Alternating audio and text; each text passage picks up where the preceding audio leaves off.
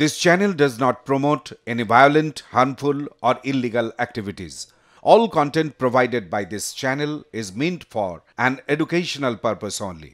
মুর্শিদাবাদে বেলডাঙ্গায় আক্রান্ত মহিলা জোট প্রার্থী কংগ্রেস প্রার্থীর স্ত্রীকেও বেধড়ক মারধরের অভিযোগ অভিযোগ তৃণমূল আশ্রিত দুষ্কৃতীদের বিরুদ্ধে আপনাদেরকে আরও একবার জানিয়ে রাখি মুর্শিদাবাদের বেলডাঙ্গায় আক্রান্ত মহিলা জোট প্রার্থী কংগ্রেস প্রার্থীর স্ত্রীকেও মারধরের অভিযোগ। অভিযোগ তৃণমূল আশ্রিত দুষ্কৃতীদের বিরুদ্ধে আক্রান্তরা মুর্শিদাবাদ মেডিকেল কলেজ হাসপাতালে চিকিৎসাধীন। আপনাদেরকে আরও একবার জানিয়ে রাখি মুর্শিদাবাদে বেলডাঙ্গায় আক্রান্ত মহিলা জোট প্রার্থী। কংগ্রেস প্রার্থী স্ত্রীকে বেধড়ক মারধরের অভিযোগ অভিযোগ তৃণমূল আশ্রিত দুষ্কৃতীদের বিরুদ্ধে আক্রান্তরা মুর্শিদাবাদ মেডিকেল কলেজ হাসপাতালে চিকিৎসাধীন বিস্তারিত জানবার চেষ্টা করব। আমাদের সঙ্গে রয়েছেন আমাদের প্রতিনিধি শঙ্কর গোস্বামী। শঙ্কর ঠিক কি ঘটেছে?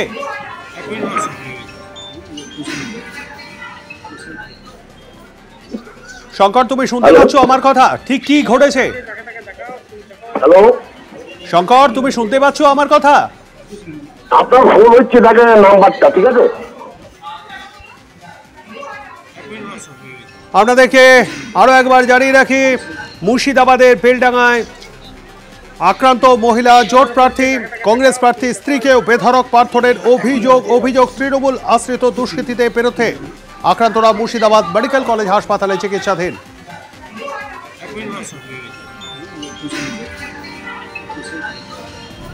মুর্শিদাবাদের বেলডাঙ্গায়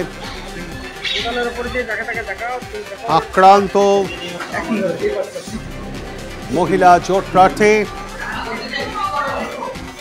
অভিযোগ, তৃণমূল আশ্রিত দুষ্কৃতীদের বিরুদ্ধে। আক্রান্তরা মুর্শিদাবাদ মেডিকেল কলেজ হাসপাতালে চিকিৎসাধীন। শঙ্কর ঠিক কি ঘটেছে? দেখো সামনেই পঞ্চায়েত নির্বাচন আর তার আগে এখনও পর্যন্ত যে সন্ত্রাসের বাতাবরণ চারিদিকে লক্ষ্য করা যাচ্ছে সেটা গতকাল তার আবারও একটা প্রমাণ পাওয়া গেল সেটা মুর্শিদাবাদের বেলডাঙ্গাতে বেলডাঙ্গার ভাবটা মাঝপাড়ায় গতকাল রাত্রে শঙ্কর শঙ্কর তুমি একটুখানি লাউডলি বলো একটু জোরে বলো শোনা যাচ্ছে না তোমার কথা? গতকাল রাতে বেলডাঙ্গার ভাবটা মাঝপাড়ায় মহিলা জোট প্রার্থী কংগ্রেস প্রার্থীর স্ত্রীকে বেধরক মারধর করে তৃণমূল আশ্রিত দুষ্কৃতীরা বলে অভিযোগ। এবং এই ঘটনায় বেশ কয়েকজন আহত হয়েছেন।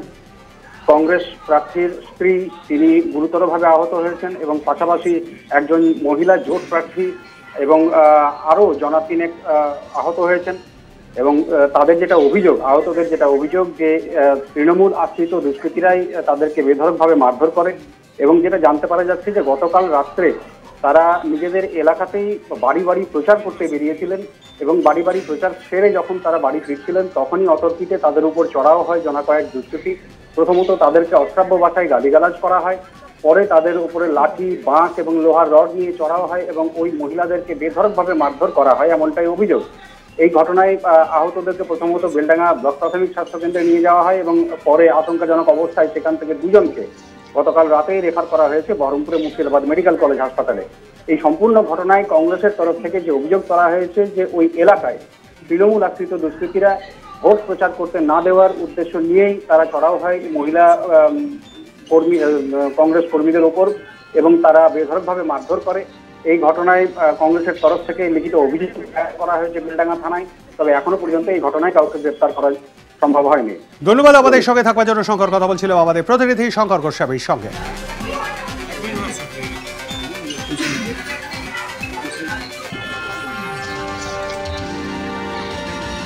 উপরে যে দেখা